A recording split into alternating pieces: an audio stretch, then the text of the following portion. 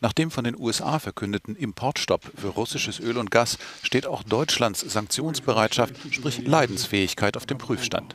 In den USA deckt russisches Öl nur 7 Prozent des Bedarfs, aber es gibt Verständnis für die deutsche Situation.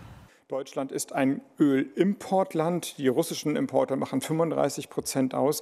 Sie haben mir im Gespräch gesagt, dass wir das weder verlangen noch fordern werden, dass Deutschland das Gleiche tut. Trotzdem sucht auch die deutsche Regierung nach Wegen, den Sanktionsdruck zu steigern und zugleich die Abhängigkeit von russischer Energie zu reduzieren, ohne dass die Spritpreise ins Astronomische steigen. Schon jetzt sind die Preise an den Tankstellen so hoch, dass Forderungen nach Entlastungen der Verbraucher laut werden, zum Beispiel durch Senkung der Mineralölsteuer. Die spannende Frage wird sein, ob der Weltmarkt mal nachzieht und beispielsweise die OPEC ihre Fördermengen erhöht. Das wäre jetzt tatsächlich ein Beitrag zur Entlastung.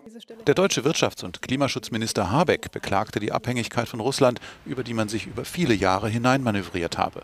Andererseits sieht man auch die Gelegenheit, mittelfristig die Energiewende durch diesen erzwungenen Ausstieg aus dem Öl zu beschleunigen.